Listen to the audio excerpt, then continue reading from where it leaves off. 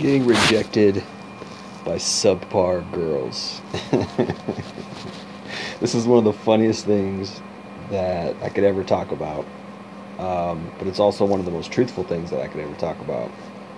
And um, as somebody who has a lot of experience with online dating, at least a few online dating sites, like I never did Match.com, I never did, um, you know, any of the real legitimate ones where you got to actually pay. All the free sites, right? I've been on the free. I've been on OKCupid. I've been on Bumble. Not that much on Bumble, but I've been on Bumble. Uh, I've been on Tinder. Um, been on Plenty of Fish. Plenty of Fish was like my go-to, right? Most of the girls I've ever dated or slept with came off Plenty of Fish, which, you know, um, that's just a fucked up site for single moms and the sluttiest of the sluts, and it just is what it is. And I probably, you know, been on there for like ten years, but not like constantly sending messages every day, but just passively every once in a while going on there, sending a few messages. Um, for like three years, I, I totally got off all dating sites um, for good reason, basically because it's just such a shit show in the sense that, you know, sub absolutely subpar girls are rejecting you. You know, like just even fives and fours and threes are just acting like tens and it's the biggest shit show ever. I can't think of anything. I mean, online online dating, online game or whatever is just the the biggest shit show in existence. Um, 100% you should get off. Um, I'm not saying that like you can never pull girls. Like if you got really high uh, sexual market value, if you're a really really good looking guy and you take really great pictures and you you you dress nice, um, by all means go on. You know, get on Tinder, get on Plenty of Fish, and you can fuck all the little dumb sluts you want. That's not going to be most men. That's going to be like the top two percent of men. Um, most guys, we, we just we don't take great pictures. We're not super hot. Um, we're just average. We're below an eight. We're below seven. So we're fucked. If you're not above a nine, you should not be on online dating sites. Period. The end. End of story. I mean, I think about after 2014, 2015, I noticed a dramatic drop in um, interest that I was getting on online dating sites. Um, I think before that, like I think I started like 2008. So when I started for the first couple years, it wasn't too bad. Like I would I would get I would send out maybe like 30 messages before I would get one response. Um, and usually the responses that I got, like eh, you know, out of those responses, I say about one out of every 15 or so, I would get an actual date. Out of those actual dates, I would probably, you know, like one out of five of those dates, maybe even better than that, maybe like three out of five of those dates, I would be able to close. So if I did get her out, if I did go on a date with her, if I did hang out with her off the dating site, there was a really good chance that I was going to close uh, sexually.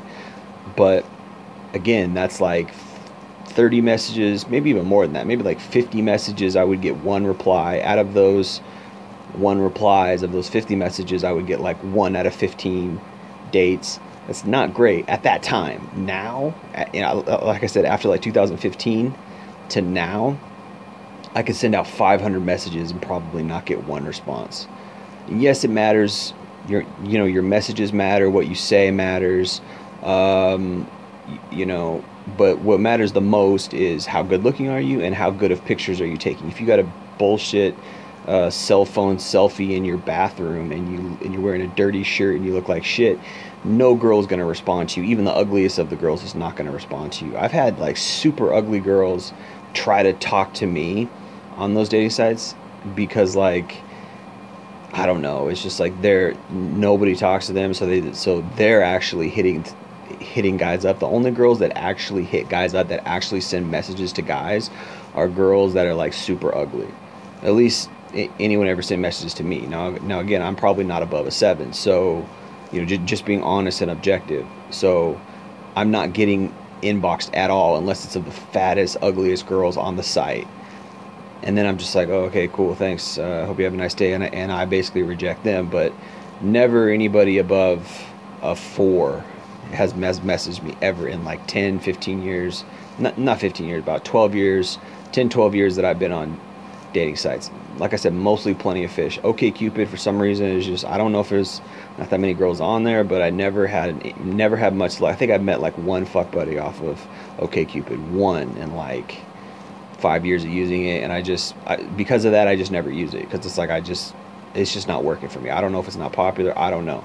But Tinder never worked for me at all. It's just I'm just not hot enough for Tinder. Period. It's like if you're not the hottest of the hot, and it's just what it is. That's hypergamy. Like if you're just an average looking guy, you're pretty much fucked. Like you might as well be ugly. If you're below a seven, you might as well be a two. It doesn't matter. You're not going to get any attention. You're not going to get any play because that's hypergamy. Women don't I don't care how much they say, oh, I care about his personality, I care about this, I care about that. Bullshit. It's your looks. 100% your looks. And if you're not the best looking guy, you can somewhat make up for that by taking, you know, wearing a nice suit or whatever, you know, wearing nice clothes and getting some nice pictures taken. And then talk about, like, oh, I'm, I'm super successful in my business, et cetera, et cetera. Um, if you do that, like, yeah, maybe you'll have a chance. But these girls aren't on there to, like, I highly doubt any of them really are on there to just meet the love of their life, etc. They're on there to date, they're on there to hook up, they're on there to play the field, they're on there to have fun, and hypergamy still exists in that scenario. Just because she she's not just because she's out fucking around does not mean she's not hypergamous.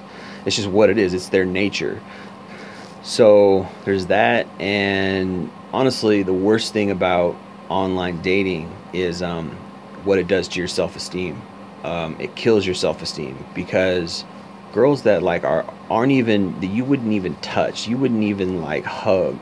Uh, that ugly of girls are rejecting you. Like seriously, like you can do studies. You you know, guys have done all kinds of studies where they post up an an, an, an average looking dude and then they'll post up a really good looking dude and, and they'll check the differences between the responses or they'll just post an average dude and then they'll take a picture of a average female and then they'll they'll see the differences in responses the average dude would get he he could send out a hundred messages himself and he probably won't even get one response back whereas an average female doesn't even have to send out any messages and she'll get 500 messages in her inbox. I mean that's how nutty it is. So that's what these girls are out there walking around with. These girls are out there um, walking around with that kind of uh, that kind of overblown self-esteem that kind of sense of undeserved um, you know self accomplishment. This is why the game is so fucked up because all they got to do is go online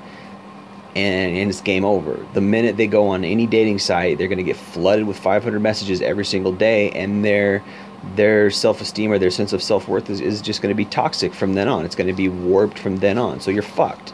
So really, the best you can hope for is to, to go out in real life and talk to girls in real life and hopefully they're not on dating sites because if they are, then you're fucked. Like they're not going to, you know, give you the time of day if you're not a 10 out of 10 and rich. And it's just like that's how whacked out this this world has become. That's how whacked out because that's what dating that's what that's what these dating sites did.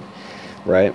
They just put women on an absolute pedestal. They they they enhance gynocentrism times a thousand and, and it's to the point where you're getting rejected by subpar girls. Girls who are like barely pushing a five are walking around acting like they're tens. And it's like bro i wouldn't i might not i probably wouldn't even have sex with you. Like like and i'm just playing i'm just you know like i'm just um, playing the field or i'm just i'm just seeing how you would respond and you're acting like you're a supermodel.